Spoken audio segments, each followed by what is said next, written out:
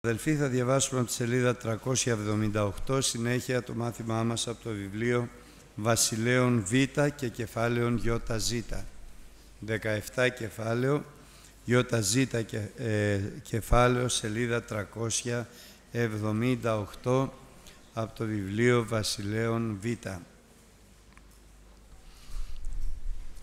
Εν το 12ο έτη του Άχας, βασιλέως του Ιούδα, ευασίλευσε Νοσιέ, ο Υιός του Ιλά εν Σαμαρία επί τον Ισραήλ εννέα έτη και έπραξε πονηρά ενώπιον του Κυρίου πλην ουχή ως η βασιλής του Ισραήλ την εσύσαν προ αυτού. Επ' αυτόν ανέβης Σαλμανασάρ, ο βασιλεύς Ασσυρίας και έγινε Νοσιέ, ο δούλος αυτού και έδιδεν εις αυτόν φόρον. Έβρικε δε ο βασιλεύς Ασσυρίας συνωμοσίαν εν το Οσιέ, διότι απέστειλε μηνυτάς προς τον Σο, βασιλέα της Αιγύπτου και δεν έδωκε φόρον εις τον βασιλέα της Ασσυρίας ως έκαμνε κατέτος. Όθεν συνέκλεισεν αυτόν ο βασιλεύς της Ασσυρίας και έδεσεν αυτόν εν φυλακή. Και ανέβη ο βασιλεύς Ασσυρίας διαπάσης της γης και ανέβηκε στην Σαμάριαν και πολιόρκησεν αυτήν τρία έτη. Εν το ενάτο έτη του Οσιαίου βασιλεύς Ασσυρίας εκυρίευσε τη Σαμάρια και μετόκισε τον Ισραήλ στην Ασσυρία και κατόκισεν αυτόν Εναλά και Εναβόρ παρά των ποταμών Γοζάν και εν τεσπόλεση των Μίδων. Έγινε δε τούτο, διότι οι Ιη του Ισραήλ ημάρτησαν εις Κύριον των Θεών αυτών, ως τις ανοίγαγεν αυτούς εκεί σε Αιγύπτου, υποκάτωθεν της χειρός του Φαραώ βασιλέως της Αιγύπτου και σεβάστησαν άλλους θεούς. Και περιεπάτησαν εις τα νόμιμα των εθνών, τα οποία εξεδίωξεν ο Κύριος απέμπροσθεν τον Υιόν Ισραήλ και τα, των βασιλέων του Ισραήλ τα οποία εθέσπισαν. Και έπρατον οι Ιη του Ισραήλ κρυφίως πράγματα τα οποία δεν ήσαν ευθέα ενώπιον του Κυρίου του Θεού αυτών και οκοδόμησαν σε αυτούς υψηλούς τόπους εν πάσες τες πόλεις οι αυτών από πύργου φυλάκων έως οχυράς πόλεως και ανοίγηραν σε αυτούς αγάλματα και άλση επί πάντα υψηλών λόφων και υποκάτω παντός δέντρου πρασίνου. Και εκεί εθυμίαζον επί πάντα στους υψηλούς τόπους, καθώς τα, έθνη, τα, καθώς τα έθνη τα οποία ο Κύριος εξεδίωξε να, μπροσθεν, απέμπροσθεν Αυτόν. Και έπρατον πονηρά πράγματα για να παρεργίζωση τον Κύριον και λάτρευσαν τα είδωλα περί των οποίων ο Κύριος είπε προς αυτούς «Δεν θέλετε κάμει το πράγμα τούτο». Και διαμαρτυρήθη ο Κύριος κατά του Ισραήλ και κατά του Ιούδα διαχειρός πάντων των προφητών, πάντων των βλεπόντων λέγον, επιστρέψατε από τον εδόν ημών των πονηρών και φυλάτε τα σεντολάς μου, τα διατάγματά μου, κατά πάντα των νόμων των οποίων προσέταξα εις του πατέρα σας και των οποίων απέστειλε σε εσάς διαμέσου των δούλων των προφητών. Πλην αυτοί δεν υπήκουσαν, αλλά εσκλήριναν τον τράχυλον αυτών ως των τράχυλων των πατέρων αυτών, ήτενες δεν επίστευσαν εις Κύριον των Θεών αυτών και απέρριψαν τα διατάγματα αυτού και την Διαθήκη αυτού, την οποία έκαμε μετά των πατέρων αυτού και τας διαμαρτυρήσεις αυτού, τας οποίες διαμαρτυρήθη εναντίον αυτών.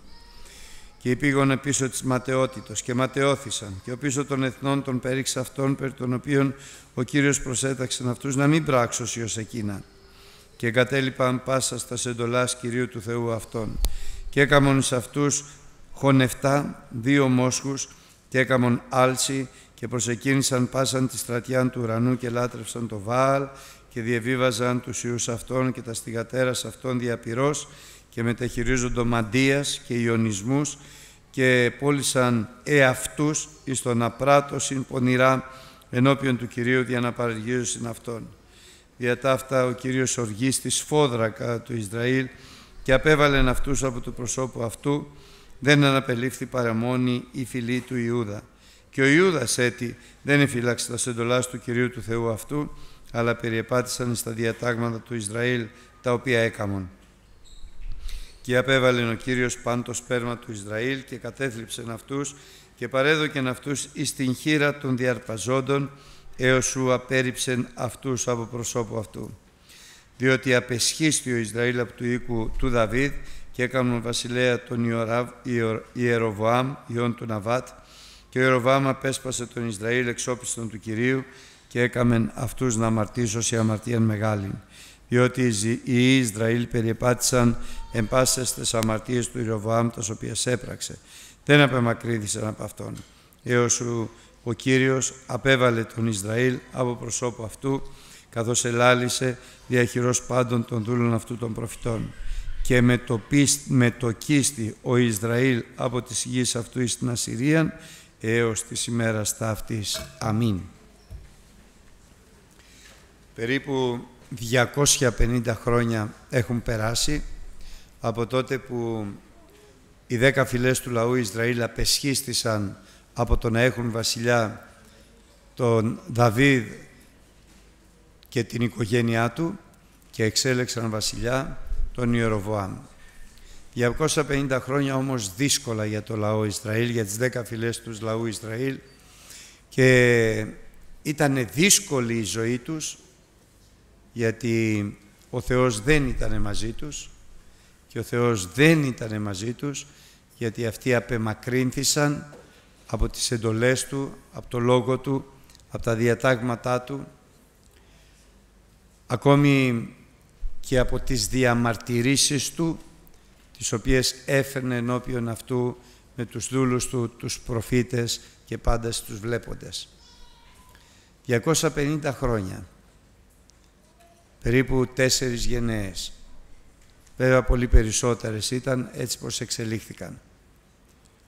Όμως εκείνο το οποίο ήταν θαυμαστό είναι ότι τους σημαντικότερους προφήτες ο Θεός Ισραήλ μέχρι το 700 περίπου π.Χ. όπου κατεστράφησαν οι δέκα φυλές του Ισραήλ ο Θεός τις ε, απεδοκίμασε απεδοκίμασε τη γη τους απεδοκίμασε το λαό, τους μετόκισε και χάθηκαν σαν λαός, αλλά σαν λαός του Θεού, σαν άνθρωποι του Θεού ο καθένας, μπορούσε και εξακολουθούσε να μπορεί να βρει το δρόμο τους.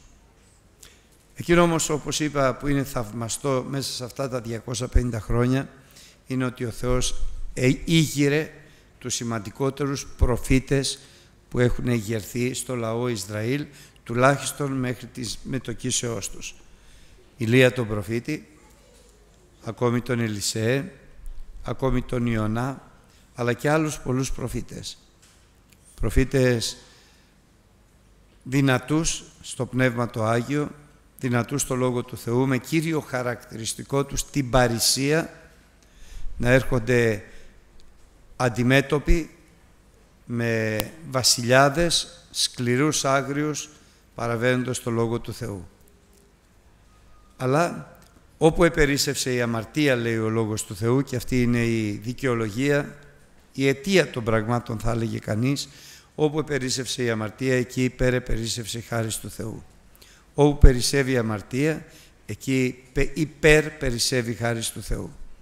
Μετά το 700 μετά Χριστό, προ Χριστού, πλέον με διαλυμένες τις δέκα φυλές του Ισραήλ, απέμεινε μόνο η φυλή του Ιούδα, η οποία, στην οποία ο Θεός σήκωσε και πάλι δυνατούς προφήτες, όπως τον Ισαΐα, τον Ιερεμία, τον Ιζεκίλ, γιατί στα υπόλοιπα χρόνια, από το 720 μέχρι το 605, στα υπόλοιπα 100 χρόνια, ο λαός του Ιούδα, ο λαός Ισραήλ, η φυλή του Ιούδα, και αυτή εξέκλεινε ακριβώς όπως και οι δέκα φυλές του Ισραήλ. Η μεγάλη διαφορά που έκανε ο Θεός μεταξύ των δύο αυτών λαών θα έλεγα, τις δέκα φυλές του Ισραήλ και τη φυλή του Ιούδα και του Βενιαμίν, είναι για τις μεν δέκα φυλές έφερε κρίση, αλλά χωρίς επιστροφή, όχι κρίση εκπαιδευτική, αλλά κρίση καταστροφική, τουλάχιστον για τη γη του Ισραήλ, στην φυλή του Ιούδα όμως έφερε κρίση πάλι καθώς τους εξόρισε για 70 χρόνια αλλά κρίση εκπαίδευσης γι' αυτό και τους μετόκισε, τους επανέφερε στη γη τους μέσα σε 70 χρόνια αλλά απόλυτα μετανοημένους. Δεν ξέρουμε ακριβώς εμείς οι άνθρωποι να δώσουμε εξήγηση γιατί στους μεν ήταν τόσο σκληρός ο Θεός στους δε ήταν τόσο επίοικης, άλλη εξήγηση από αυτή την οποία μας γράφει ο Λόγος του Θεού, ότι αυτό το έκανε χάριν Δαβίδ του δούλου του, τον οποίον εξέλεξε για να εγκαταστήσει τη βασιλεία του Θεού επί της γης και εκ της οποίας ο Θεός είχε προβλέψει απαρχής να εξέλθει ο Ιησούς ο Ναζωραίος, ο Υιός του Δαβίδ, που θα είναι ο βασιλεύς των βασιλέων και ο Κύριος των Κυρίων ε, στη συνέχεια. Όμως θα επανέλθουμε στις δέκα φυλές του Ισραήλ, αφού έκανε χάρη ο Θεός και διατήρησε τους Ιούς κατά το λόγο τον προφητικό του Ελισεέ, διατήρησε τους Ιούς του Ιού τέσσερα χρόνια, ο οποίος σας θυμίζω ο Ιού ήταν αυτός που με το ζήλο του κατέστρεψε τον οίκον του Αχάβ και της Ιεζάβελ ε, ώστε βρήκε χάρη από το Θεό ε, και τον έκανε βασιλιά αλλά επειδή δεν στάθηκε στο Λόγο του Θεού γιατί ο ζήλος δεν φτάνει έχουμε πει και άλλη φορά μάλιστα δεν φτάνει καθόλου.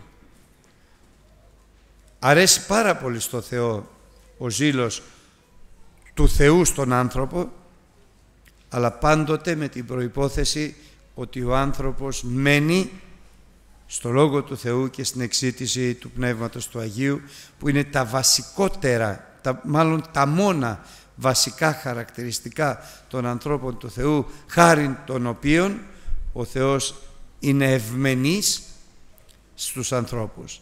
Παραλαμβάνω λοιπόν δύο είναι τα βασικά χαρακτηριστικά τα οποία φέρνουν το Θεό κοντά στον άνθρωπο με ευμένεια και ιδιαίτερη ευλογία αλλά και αξιοπιστία έχει ο θεωρεί ο Θεός αξιόπιστους αυτούς τους ανθρώπους οι οποίοι έχουν πρώτο χαρακτηριστικό να πράττουν το ευθές ενώπιον του Κυρίου που σημαίνει να είναι υποτεταγμένοι ακριβώς στο γεγραμμένο Λόγο του Θεού να μην φαρδένουν την οδό που είναι πάρα πολύ εύκολο γιατί η καρδιά να φαρδίνει ο άνθρωπος στην οδό του Κυρίου γιατί η καρδιά του ανθρώπου είναι απατελή, περπάντα και σφόδρα διεφθαρμένη. Και εάν κάποιος άνθρωπος του Θεού φαρδίνει λίγο την οδόν και περιγράψει αυτή την έκπτωση στο Λόγο του Θεού σε κάποιον που η καρδιά του είναι απομακρύνεται βρίσκει έβυχον ους, έβυχον αυτή και ο Λόγος του Θεού λέει ότι στο να... Μάλιστα να το διαβάσω από μέσα γιατί είναι ένα εδάφιο που το διάβαζα σήμερα και μου έκανε πάρα πολύ μεγάλη εντύπωση πόσο σημαντικός είναι ο Λόγος του Θεού. Λέει λοιπόν στο ΙΕ κεφάλαιο και στο 10 εδάφιο των παροιμιών η διδασκαλία, η γένουσα διδασκαλία, είναι δυσάρεστος εις τον εγκαταλείποντα την οδόν. Όταν δηλαδή η καρδιά του ανθρώπου αρχίζει και στρέφει στο να εγκαταλείψει την οδόν την στενή που μπαίνει από τη στενή πύλη και την τεθλιμμένη, τη δύσκολη που είναι όμως η μόνη που οδηγεί στη Βασιλεία των Ουρανών όταν η καρδιά του ανθρώπου λοιπόν στρέφει στο να απομακρυνθεί, να εγκαταλείψει αυτή την οδό τότε η διδασκαλία και αυτό είναι το χαρακτηριστικό η γένουσα διδασκαλία, ο Λόγος του Θεού γίνεται δυσάρεστος εις Αυτόν. Δεν αντέχει να ακούει τις αλήθειες του Ευαγγελίου, τις θεωρεί πολύ σκληρές, πολύ αυστηρές και βγάζει και οποιασδήποτε άλλες περιγραφές θέλει, μόνο και μόνο επειδή δεν αντέχει να ακούει ευχάριστα τη διδασκαλία, την υγιένουσα, επειδή απομακρύνεται από την οδόν. Βέβαια το έχει προφητεύσει ο Λόγος του Θεού αυτό το πράγμα μέσα από τον Απόστολο Παύλο και μάλιστα από τον, στην επιστολή του προς Τιμόθεο ότι οι άνθρωποι θα στρέφουν την προσοχή τους σε διδασκάλους οι οποίοι θα κηρύττουν κατά την καρδία τους. Δηλαδή αυτά που η καρδιά τους δέχεται ε, που δεν είναι σύμφωνα με το Λόγο του Θεού, λίγο, αλλά δεν είναι σύμφωνα με το Λόγο του Θεού, επειδή η καρδιά τους αρχίζει και απομακρύνεται από την οδό που όπως είπαμε εισέρχεται ο άνθρωπος από τη στενή πύλη για να περπατήσει στην τεθλιμένη, τη δύσκολη οδό που είναι όμως η μόνη που οδηγεί στη Βασιλεία των Ουρανών. Αυτό το χαρακτηριστικό είναι ιδιαίτερο τις έσκατες ημέρες όπου ο Λόγος του Θεού μας φανερώνει ότι εξήκοντα θα είναι οι βασίλισσες, ογδοήκοντα οι παλακές, αναρρύθμιτοι νεάνδες, αλλά μία θα είναι η περιστερά μου, η αμόμητός μου, η εκλεκτή της τεκούσης αυτήν και η μόνη υποτεταγμένη στην τεκούς, στην, σε αυτήν που τη γέννησε, που είναι η πρώτη Αποστολική Εκκλησία. Αλλά ακόμη πιο καθαρά το γράφει αυτό ο προφητικός λόγος του Θεού στον Ισαΐα τον προφήτη, ο οποίος λέγει ότι εν τεσσεσχάτες ημέρες το όρος του οίκου του Κυρίου θέλει στηριχθεί επί της κορφής των ωραίων και υψωθεί περάνω πάντων των βουνών και πάντα τα έθνη θα σειραίουν εις αυτό και πολλοί λαοί θέλουν συνυπάγεις σε αυτό και τι θα είναι αυτό που θα ελκύει τους ανθρώπους και θα λένε έλθετε και ασαναβόμενοι στο όρος του Κυρίου στον οίκον του Θεού του Ιακώβ και θέλει διδάξει ημάς τα σοδούς αυτού και θέλομεν περιπατήσει εν της τρίβης αυτού. Η καρδιά των ανθρώπων των εσχάτων ημερών, γιατί είναι πάρα πολύ σοβαρό αδελφοί αγαπητοί, η περίοδος των εσχάτων ημερών επειδή έχουμε να κάνουμε με την αρπαγή της Εκκλησίας. Και είναι ένα σημείο στο οποίο εύκολα θα μπορούσε να σκεφτεί κανείς ότι θα βρεθεί αδικία στο Θεό. Γιατί οι άνθρωποι εύκολα θα μπορούσαν να πούν δεν κατάλαβα, δεν το ξέρα και δεν με παρέλαβες, δεν μου το εξήγησες. Αλλά η απάντηση του Κυρίου είναι το Ευαγγέλιο τούτο, θα κηρυχθεί τούτο το ορθοτομημένο, όχι οι διδασκαλίες οι διάφορες οι ανθρώπινες, η γένουσα η διδασκαλία θα κηρυχθεί σε όλη την οικουμένη και ύστερα θα έρθει το τέλος. Και αυτό σκοπεύει και το κάνει ο Θεός ήδη με την γένουσα διδασκαλία. Και το χαρακτηριστικό των ανθρώπων, των εσχάτων ημερών, είναι ότι έχουν πρόθεση να περπατήσουν εις τα στρίβους του Θεού ημών, στο μονοπάτι του Κυρίου. Όχι στην ευρύχωρη οδό, αλλά στη στενή και τεθλιμένη. Η πρόθεσή τους είναι να περπατήσουν στα μονοπάτια του Κυρίου ή στα στρίβους του Κυρίου καθώς θέλουν, επιθυμούν να διδαχθούν από τον Θεό τις αλήθειες του Ευαγγελίου, την υγιένουσα διδασκαλία από διδασκάλους που ο ίδιος ο Χριστός εξέλεξε, εκάλεσε και θα χρησιμοποιήσει τις έσχατες αυτές οι μέρες. Αυτά είναι τα χαρακτηριστικά της τελευταίας Εκκλησίας, της μίας, της Αγίας, της περιπστεράς, της αμομήτου. Που προφανώς όταν λέω αυτό δεν είμαστε εμείς, σε όλο τον κόσμο, αλλά θέλουμε και εμείς να είμαστε μέσα σε αυτή την Εκκλησία. Και επειδή το θέλουμε, θέλουμε να μοιάσουμε σε αυτούς τους ανθρώπους που έχουν πρόθεση να περπατήσουν τα στρίβους της δικαιοσύνης του Θεού, τα στενά μονοπάτια, επειδή θέλουν όχι να ακούνε διδασκάλους που τους διδάσκουν κατά την επιθυμία της καρδιάς τους, γαργαλιζόμενοι την ακοή, αλλά διδασκάλους που θα τους λένε και μόνος διδάσκαλος βεβαίως είναι ο Χριστός και η διδασκαλία η μόνη γένουσα είναι το Ευαγγέλιο του Χριστού. Γι' αυτό δεν προσθέτουμε, προσπαθούμε τουλάχιστον εμείς την αδυναμία μας να μην προσθέτουμε σε αυτά που λέει το Ευαγγέλιο, αλλά και να μην αφαιρούμε από αυτά που λέει το Ευαγγέλιο. Γνωρίζοντας ότι ο Κύριος μας είπε μην ονομαστείτε εσείς διδάσκαλοι, γιατί ένας είναι ο διδασκαλός σας ο Χριστός. Και μην ονομαστείτε εσείς καθηγητές, γιατί ένας είναι ο καθηγητής σας ο Χριστός. Αλλά και μην ονομάστε κανένα σας πατέρα, γιατί ένας είναι ο πατέρας σας ο ουράνιος. Ο λαός Ισραήλ την εποχή εκείνη λοιπόν 250 χρόνια μετά την ορθοτόμηση του Λόγου του Θεού που έφερε ο Δαβίδ και ο Σολομών και καθώς επαναλαμβάνω εγκατέλειψε το Δαβίδ και εξέλεξαν τον Ιεροβάμ περπάτησαν κάτω από τις φοβίες του Ιεροβοάμ και τις διδασκαλίες του Ιεροβοάμ οι οποίες εξήλθαν από την υπερηφάνεια του για να είναι βασιλιάς, από την επιθυμία της καρδιάς του όλοι να υπακούν Αυτόν και από το φόβο του μήπως τον ρίξουν από βασιλιά, μήπως δεν αρέσει στο λαό για βασιλιάς. Και έτσι λοιπόν άλλαξε.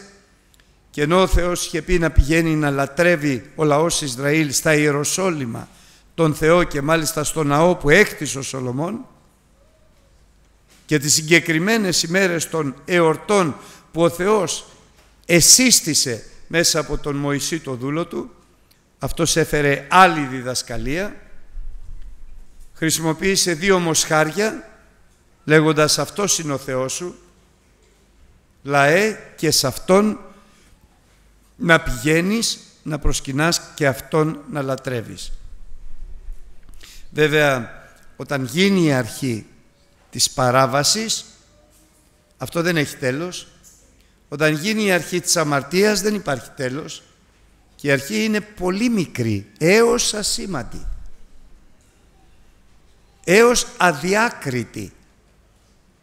Και μπορώ να πω ότι η αρχή της απομάκρυνσης δεν φαίνεται και δεν διακρίνεται μεταξύ των ανθρώπων. Μόνο ο Θεός τη διακρίνει. Γι' αυτό και μόνο ο Θεός που γνωρίζει, ελέγχει δια Πνεύματος Αγίου με το Λόγο Του και καταλαβαίνουμε πότε ο Θεός μας ελέγχει με το Λόγο Του, με το Πνεύμα Του το Άγιο, όταν η καρδιά μας ακούγοντας κάτι αγανακτεί, εκτός και αν αυτό που ακούει είναι έξω από το Λόγο του Θεού, οπότε δικαίως η καρδιά των δικαίων αγανακτούν. Όταν όμως η καρδιά μου ακούγοντας το Λόγο του Θεού σφίγγεται λίγο, τότε καταλαβαίνω εκείνη τη στιγμή ότι δεν φταίει ο Λόγος του Θεού, εγώ φταίω και θέλω διόρθωση. Αν όμως αυτό το ξεπεράσω την πρώτη φορά, το ξεπεράσω τη δεύτερη φορά, στο τέλος θα καεί η καρδιά μου, η συνείδησή μου και δεν θα καταλαβαίνει τους ελέγχους του Κυρίου, τότε βέβαια σημαίνει ότι και η πορεία θα είναι πολύ χειρότερη. Γι' αυτό και το Πνεύμα το Άγιο τι λέει, ας μη σκληρύνεται η καρδιά σου τώρα που ακούς το Λόγο του Θεού, καθώς ακούς τη φωνή του Πνεύματος του Αγίου, ας μη σκληρύνεται η καρδιά σου, όπως την ημέρα του παραπικρασμού στην Παλαιά Διαθήκη, γιατί αυτόν που η καρδιά εσκλήρινε όταν ακουγόταν η φωνή του Πνεύματος του Αγίου, ποτέ, αυτοί ποτέ δεν έφτασαν στη γη Χαναάν. Ποτέ. Άφησαν τα κόκαλά τους στην έρημο. Εξήλθαν ένδοξα, γεύθηκαν το Λόγο του Θεού, τις δυνάμεις του Πνεύματος του Αγίου, διήλθαν από την Ερυθρά θάλασσα, ετράφησαν με το μάνα, εποτίστησαν με είδωρ εκ της πέτρας, αλλά επειδή η καρδιά τους σκληρύνθηκε καθώς ακούγαν τη φωνή του Πνεύματος του Αγίου και δεν τον ενόησαν και δεν μετενόησαν και δεν επέστρεψαν, ποτέ δεν έφτασαν στη γη της Επαγγελίας. Είναι πολύ κρίσιμο σημείο αδελφοί μου αγαπητοί πριν καεί η συνείδησή μας, καυτηριαστεί η συνείδησή μας και πορωθεί η καρδιά μας. Όταν ακούμε το Λόγο του Θεού και τη φωνή του Πνεύματος του Αγίου με έλεγχο που κανένας άλλος δεν το καταλαβαίνει παρά μόνο η δική μου η καρδιά που έχει στραβώσει λίγο και δεν συνειδητοποιήσω ότι αυτός είναι ο έλεγχος του Κυρίου και είναι μακάρι αυτοί που δέχονται τον έλεγχο του Κυρίου. Είναι υπό τον έλεγχο του Κυρίου λέγει ο Λόγος του Θεού. Τα αυτιά τους είναι ανοιχτά. Έχουν ότα πεπαιδευμένων για να ακούν τη φωνή του Πνεύματος του Αγίου. Και μόνο όποιος έχει ότα πεπαιδευμένων για να ακούει τη φωνή του Πνεύματος του Αγίου, σε αυτόν μόνο ο Θεός δίδει και γλώσσα πεπαιδευμένων για να λαλεί τα λόγια του Θεού. Αυτός μόνο είναι αξιόπιστος. Ποιος; αυτός που έχει ότα πεπαιδευμένων, ακούει τις ευλογίες του Θεού και χαίρεται, ακούει τους ελέγχους του Θεού και λυπάται και δεν τελειώνει εκεί, δεν είναι επιλύσμον ακροατής, αλλά είναι εκτελεστής του Λόγου. Για μεν τις ευλογίες που ακούει η καρδιά του και χαίρεται πάει στο Θεό, ζητάει να του χαρίσει ο Θεός πνεύμα ταπεινού, καρδιά συντετριμένου να τρέμει στο Λόγο Του και να επιμείνει σε αυτήν την οδό της υπακοής και της χάρης του Θεού. Όταν δε ο έλεγχος του Θεού στην καρδιά την ανακατεύει, γιατί ελέγχεται η καρδιά και η συνείδηση του ανθρώπου ελέγχεται, την ανακατεύει, τότε πηγαίνει στο Θεό και λέει «Κύριε, δεν φταίει αυτός που κηρύττει, δεν φταίει ο λόγος σου Άγιος, δεν φταίς εσύ. Η καρδιά μου φταίει, γι' αυτό έλα διόρθωσέ τη. Εάν ο άνθρωπος περπατάει με αυτή τη λογική, ανταποκρινόμενος στις επεμβάσεις του Θεού δια του Λόγου του Εμπνεύματι Αγίου στην καρδιά του, γιατί αυτή είναι η ενέργεια του Θεού, να ανταποκρίνεται ο Θεός σε αυτά που μόνο Αυτός βλέπει μέσα στη δική μας την καρδιά. Ποτέ αδελφοί αγαπητοί να μην εξουθενούμε ούτε προφητείες ελεκτικές ούτε το Λόγο του Θεού όταν εμάς μας ελέγχει γιατί αυτό που εμένα ελέγχει ο Λόγος του Θεού όταν εμένα ελέγχει τον άλλο δεν τον ελέγχει γιατί δεν έχουμε τα ίδια προβλήματα στην καρδιά μας. Κάθε μια καρδιά έχει διαφορετικά προβλήματα. Και είναι το κρίσιμο σημείο και χρονικά άμεσα δηλαδή να πάω στον Κύριο να διορθώσω την καρδιά μου αλλά και πνευματικά γιατί αν δεν περπατήσω έτσι πως ο Θεός με θέλει κάτω από τον έλεγχό Του κάτω από την οδηγία Του τότε η πορεία μου δεν θα είναι καλή. Τότε η πορεία μου θα είναι από το κακό στο χειρότερο μέχρι να μετανοήσω με κίνδυνο να μην εισέλθω στη γη της Επαγγελίας, τότε ο λαός Ισραήλ στη γη Χανάν, σήμερα στην αρπαγή της Εκκλησίας. Είναι λοιπόν πάρα πολύ σοβαρά τα πράγματα, αδερφοί, τις έσχατες ημέρες. Να, να πράττουμε το ευθές ενώπιον του Κυρίου κατά πάντα στη ζωή μας, είτε ό,τι αφορά το σώμα μας, είτε ό,τι αφορά την ψυχή μας, είτε ό,τι αφορά το πνεύμα μας. Αλλά και να εξητούμε τον Κύριο, τη φωνή του Πνεύματος του Αγίου, την οδηγία του Θεού, τη διοίκηση του Θεού, γιατί είναι γεγραμμένο και η Γραφή δεν δύναται να αναιρεθεί μόνο όσοι διοικούνται υπό του Πνεύματος του Αγίου, είναι πραγματικά παιδιά Θεού, αληθινά παιδιά Θεού. Και αυτός ο τρόπος ζωής, μάλλον αυτή η πρόταση για τρόπο ζωής που μας δίνει ο Λόγος του Θεού είναι ανάγκη να γίνει μια πραγματικότητα στην καθημερινότητά μας. Ανάγκη αδερφοί. Αφενός μένει για να μπορούμε να περνάμε ανώδυνα τον καιρό που ο Θεός μας προφητεύει, μας βεβαιώνει ότι θα υπάρχουν οδύνες στην εγκυμονούσα, αφετέρου για να είναι η ζωή μας σε ασφάλεια και σιγουριά όσον αφορά την αρπαγή της Εκκλησίας. Εκ καταλαβαίνω πόσο δύσκολο είναι. Αλλά ο Απόστολος Παύλος μας δείχνει το δρόμο. Θα μάζω το σώμα μου και το δουλαγωγό μήπως εις άλλους κηρύξας εγώ βρεθώ αδόκιμος. Ποιος το λέει αυτό; Ο Απόστολος Παύλος. Αλλά το λέει δια Πνεύματος Αγίου πόσο δύσκολο γι' αυτό χρησιμοποιεί τη λέξη «δαμάζω το σώμα μου» και το δουλαγωγό. Πόσο δύσκολο είναι αυτό. Μόνο όποιος έχει πάρει αυτή την απόφαση να αγωνιστεί αυτό το, τον αγώνα μπορεί να συνειδητοποιήσει πόσο δύσκολος είναι ο αγώνας αυτός και μπορεί να καταλάβει γιατί λέει η Γραφή ότι η καρδιά μας είναι απατηλή πάντα και σφόδρα διεφθαρμένη, αλλά και να καταλάβει ακόμη περισσότερο. Γιατί ο Λόγος του Θεού λέει «Ιέ μου, φύλατε την καρδία σου με τα πάσης φυλάξεως, διότι εκ ταύτης προέρχεται, προέρχονται πάσε εκβάσεις στη ζωή σου». Η αλήθεια είναι ότι όσο περνάει ο καιρός τόσο πιο πολύ σοβαροί χριστιανοί πρέπει να είμαστε.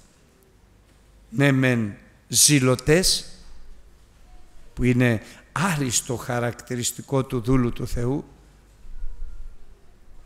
αλλά το γενικό περίγραμμα και η βασική προϋπόθεση είναι να πράττουμε το ευθές ενώπιον του Κυρίου και να εξητούμε τον Κύριο. Το ευθές ακριβώς, ακριβώς όπως λέει ο Λόγος του Θεού, κατά πάντα στο Λόγο του Θεού, χωρίς να, να αφήνουμε να γαργαλίζεται η, η ακοή μας, να γαργαλιέται η ακοή μας, αλλά και εξητούντες τον Κύριο στην προσευχή και στο ταμείο μας. Ο Θεός να μας βοηθήσει, γιατί πρέπει να περπατάμε ακριβώς στο θέλημα του Θεού, μη ως άσοφοι, αλλά ως σοφοί, γιατί οι μέρες είναι πονηρές. Τώρα βασιλιάς των Ισραήλ Νοσιέ, όπου θα είναι και ο τελευταίος βασιλιάς του Ισραήλ, ο οποίος έπραξε και αυτός πονηρά, δεν έπραξε το ευθές ενώπιον του Κυρίου, έπρατε, έπραξε πονηρά ενώπιον του Θεού, αν και λέει η Γραφή όχι όπως οι προηγούμενοι βασιλιάδες του Ισραήλ, αλλά αυτό δεν τον βοήθησε καθόλου. Ποιο δεν τον βοήθησε καθόλου. Καλά πάω, λέει αυτός, και δεν πάω όπως οι προηγούμενοι, ή όπως λέει ο Θεός, έπραξε πονηρά, αλλά όχι τόσο πολύ ως οι πατέρες αυτού. Και ο Λόγος του Θεού λέει όταν συγκρίνουμε τον εαυτό μας με τους άλλους ή όταν ακόμη χειρότερα συγκρίνουμε τον εαυτό μας με τον εαυτό μας λέγοντας καλά πάω πολύ ωραία. Δεν τα λέει καλά ο Λόγος του Θεού. Αυστηρός είναι αυτός που τα λέει. Το παρακάνετε όπως με κάποιος έτσι είσαστε εσείς με παροπίδες το πολύ μ' άρεσε αυτό. Θέλουμε να είμαι με παροπίδες με παροπίδες του Ευαγγελίου του Ιησού Χριστού. Όταν λοιπόν συγκρίνουμε τον εαυτό μας με άλλους και λέμε, και λέμε δεν είμαι σαν κι αυτόν, ποιος πράγματι μπορεί να, είναι, να έχει χάσει το δρόμο του για λίγο. Αυτό όμως δεν μας σώζει. Εκείνο που πρέπει να κάνουμε είναι αυτό που λέει ο Απόστολος Παύλος, να στεκόμαστε μπροστά στον καθρέφτη που είναι ο Λόγος του Θεού, ώστε να γινόμαστε ακροατές του Λόγου, ε, όχι ακροατές του Λόγου του Θεού επιστλίσμονες, αλλά εκτελεστές του Λόγου, να καθόμαστε μπροστά στον καθρέφτη και να διορθωνόμαστε. Δεν θα βλέπουμε τα λάθη μας και θα λέμε δεν πειράζει φεύγω. Έτσι κάνουμε μερικές φορές και στο φυσικό κόσμο. Κοιταζόμαστε, βλέπω μια λαδιά στη γραβάτα, μου λέω δεν προλαβαίνω τώρα να την αλλάξω. Δεν φαίνεται. Φαίνεται, δεν φαίνεται, ο Θεός τη βλέπει αλλά στα πνευματικά θα στεκόμαστε μπροστά στο Λόγο του Θεού, θα βλέπουμε τη λαδιά και δεν θα φεύγουμε να τη διορθώσουμε. Ο Σιέ λοιπόν δεν ήταν τόσο κακός, αλλά αυτό δεν τον ωφέλησε καθόλου όταν έφτασε το τέλος της μακροθυμίας του Θεού.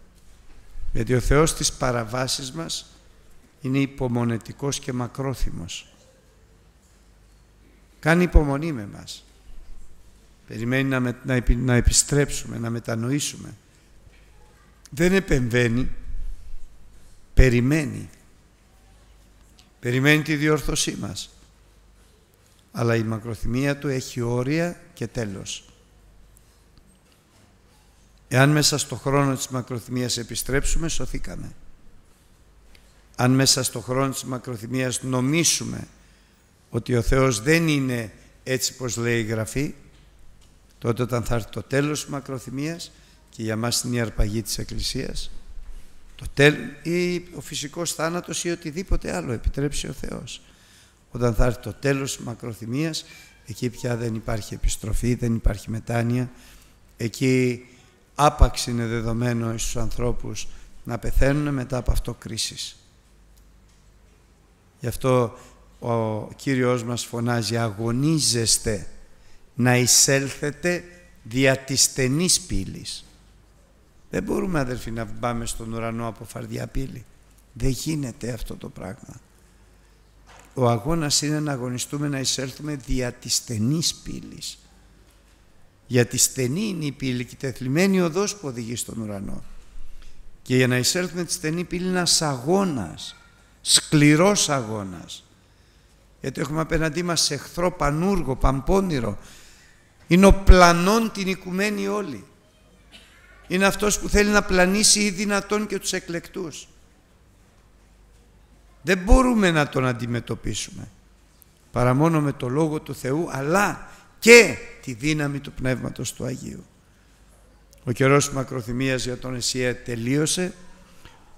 Εξηγέρθησαν εχθρός, εχθροί ισχυρότατοι ο Σαλμανασάρ της Συρίας, τον φυλάκισε, τον εχμαλώτησε και του έδωσε και πάλι την ευκαιρία καθώς τον κατέστησε δούλο του. Ο Θεός την έδωσε την ευκαιρία αλλά αυτός αντί να στραφεί στον Θεό και να ζητήσει βοήθεια ελπίζοντας τη βοήθειά του, στο έλεος του, στράφηκε στο βασιλέα της Αιγύπτου, το Σώ τον Φαραώ, ζητώντας από εκεί βοήθεια, που αυτό ήταν και το τέλος της μακροθυμίας του Θεού και σε αυτό θέλω να επιμείνω λίγο. Τις περισσότερες φορές στη Γραφή το τέλος της μακροθυμίας του Θεού το επισπεύδει ο άνθρωπος όταν πάβει να αλπίζει στον Κύριο και να ζητάει βοήθεια από Αυτόν και το αποδεικνύει αυτό ζητώντας βοήθεια από ανθρώπους. Δηλαδή πάβει να είναι ευλογημένος ως ελπίζον στον Κύριο και γίνεται καταραμένος ως ελπίζον στο, στο ανθρώπους. Το επαναλαμβάνω Πολλές φορές η μακροθυμία του Θεού τελειώνει όταν ο άνθρωπος πάβει εντελώς να ελπίζει στον Κύριο και την ελπίδα του την θέτει στο βασιλιάς της Αιγύπτου το Φαραώ όπως όσοι στο Σώ. Μεταφέρεται ο άνθρωπος από το στρατόπεδο των ευλογημένων στο στρατόπεδο των καταραμένων. απέκτησε πολύ μεγάλη δύναμη η Συρία, κυριάρχησε σε όλα τα έθνη και στη Σαμάρια. Ο Θεός λέει ότι όλα αυτά τα έκαμε. Ο Θεός στον Ισραήλ, γιατί ενώ τον ευλόγησε και τον εξήγαγε εκ γης Αιγύπτου, αυτός κρυφίος, πω, πω αυτό το κρυφίος να το φοβόμαστε αδερφοί, κρυφίος έκανε πράγματα τα οποία δεν ήσαν ευθέα ενώπιον Κυρίου του Θεού Αυτόν. Κρυφά κάνανε πράγματα που δεν ευαρεστούσαν το Θεό. Και νόμιζε ότι δεν το βλέπει κανείς. Τα έργα του σκότους είναι αυτά. Τα οποία είναι κρυφά, γίνονται κρυφά. Και τα οποία βδελείται ο Θεός. Τις κρυφές τι σημαίνει κρυφές; Κρύβομαι. Κρύβομαι, με δείτε. Κρύβομαι. Όμως ο Κύριος μας ο Ιησούς Χριστός είπε κάτι πολύ σοβαρό. Εάν έχουμε κοινωνία με το Θεό, αλλά και κοινωνία με τα λίλων, τότε το αίμα, τότε μόνο το αίμα του Ιησού Χριστού καθαρίζει μας από πάσης αμαρτίας. Όταν ο άνθρωπος, ο χριστιανός, ο πνευματικός άνθρωπος κρύβεται για να μην δείξει, να μην καταλάβουν οι άνθρωποι τις αμαρτίες του, από εκεί και πέρα πήρε τον κακό το δρόμο. Γιατί στα κρυφά ο άνθρωπος μπορεί να κάνει ό,τι θέλει. Στα φανερά δυσκολεύεται. Όταν λοιπόν στραβώσει η καρδιά και χάσει το φόβο του Θεού μη λογαριάζοντας ότι ο Θεός δεν ακούει, δεν βλέπει και νομίζει ότι αν κάνει κρυφά πράγματα από τους ανθρώπους θα πετύχει του σκοπού του, ο άνθρωπος αυτός πια έφτασε στο τέλος. Αδελφοί μου, τα κρυφά να τα φοβόμαστε. Όχι να τα κάνουμε φανερά για να μην τα φοβόμαστε, αλλά να πηγαίνουμε στο Θεό να τα εξομολογούμεθα. Το ότι δεν σε κατάλαβε κανείς στην αμαρτία σου δεν καλυτερεύει τη θέση μας, τη χειροτερεύει. Το ότι κρύβεσαι για να μην σε καταλάβει κανείς δεν σε κάνει πιο ευάρεστο εις το Θεό. Αντιθέτως πιο δυσάρεστο, δυσάρεστη είναι η θέση και πιο βδελικτή είναι η θέση σου στο Θεό. Ο Θεός να μας φυλάει. Αυτό δεν σημαίνει ότι θα καταντήσουμε να είμαστε ασεβείς και τις αμαρτίες μας να μην τρεπόμαστε, να τις δείχνουμε όπως κάνουν οι πιο ασεβείς των ανθρώπων που δεν φοβούνται το Θεό και τους ανθρώπους δεν εντρέπονται αλλά αυτό μας κάνει να είμαστε προσεκτικοί στη σχέση μας με το Θεό. Ο Σαλμανασάρ ήταν ο άνθρωπος, η ράβδος της οργής του Κυρίου, ο άνθρωπος ο οποίος εξεδήλωσε και πραγματοποίησε την οργή του Θεού. Έπιασε όλο το λαό Ισραήλ, τον εξόρισε σε όλα τα μέρη, τα ξένα. Και λέει η Γραφή γιατί και τις εντολές του Κυρίου παρέβησαν και τα διατάγματα αλλά και τις διαμαρτυρήσεις του Θεού καθώς τους έλεγχε ο Θεός με το Λόγο Του και με τους προφήτες Του γιατί εσκλήριναν τον τράχυλό τους και δεν επίστευσαν στα λόγια του Θεού. Με αποτέλεσμα το τέλος. Και τέλος, επώδυνο επί της γης φρικτό αιώνια. Αδερφοί αγαπητοί, αυτά δεν μας τα γράφει ο Θεός για να μας τρομοκρατήσει. Και εμείς δεν τα διαβάζουμε τρομοκρατημένοι αλλά μας τα γράφει ο Θεός για να τα ακούσουμε με προσοχή και να λάβουμε υπόψη μας σταθερά, στερεά τις βουλές του Θεού και να θεωρήσουμε το Λόγο του Θεού σαν προειδοποιήσεις προς μετάνοια, επιστροφή με σκοπό την ευλογία και τη δόξα του Θεού. Αν όμως ο άνθρωπος ακούει τα λόγια του Θεού, σκληρύνει την καρδιά του, περιφρονεί τις προσκλήσεις του Θεού, τότε απομακρύνεται από το Θεό, λυπάται ο Θεός Λυπάται το Πνεύμα το Άγιο, αλλά ο άνθρωπος απομακρύνεται από την, από την οδόν του Κυρίου, την αγαθή και η συνέχεια του θα είναι δύσκολη, το τέλος το φυσικό επώδυνο και το πνευματικό φρικτό. Προειδοποιήσεις είναι. Όχι για να τρομοκρατηθούμε, αλλά για να αποδεχθούμε το Λόγο του Θεού με χαρά, να μετανοήσουμε, να επιστρέψουμε για να απολαύσουμε ζωή και αυτή η εναφθονία εδώ στη γη που είναι υπόσχεση Θεού. Γι' αυτό δεν πρέπει να φοβόμαστε. Ζωή και αυτή η εναφθονία έχει προσδιορίσει και υποσχεθεί ο Θεός για το λαό του εδώ στη γη. Αλλά το τέλος ζωή αιώνιος. Και ο Θεός είναι πιστός στο λόγο Του, να αρνηθεί τον εαυτό Του δεν δύναται δεν μπορεί να μακροθυμεί. Κάνει υπομονή, αλλά δεν μπορεί να ξεφύγει από τη δικαιοσύνη του. Δεν μπορεί να απιστήσει στο λόγο του. Είναι πιστός ο υποσχεθής στις επαγγελίες του, αλλά είναι και πιστός στο λόγο του στην κρίση του. Ο Θεός να μας φυλάει. Ο Θεός να μας φυλάει να έχουμε καρδιά που να θέλει να είναι κατά την καρδιά του Θεού. Ο φόβος του Θεού να βασιλεύει στη ζωή μας. Όχι φόβος τρομοκρατίας, φόβος αγάπης, σεβασμού και ευλογίας. Για να βλέπουμε και τη ζωή μας στην παρουσία του Θεού, αλλά και να έχουμε καλή συνέχεια αδερφοί. Είναι πολύ σημαντικό να, να, να προνοούμε εκ των προτέρων την καλή μας συνέχεια. Γιατί έχουμε παιδιά, έχουμε εγγόνια και είναι τραγικό να βλέπεις τα παιδιά σου να χάνονται στον κόσμο της αμαρτίας και να λες τότε εγώ έφταιγα. Δεν άκουσα, δεν φρόντισα, δεν προνόησα. Θα τα διορθώσει ο Θεός αλλά θα είναι δύσκολα και επώδυνα τα πράγματα.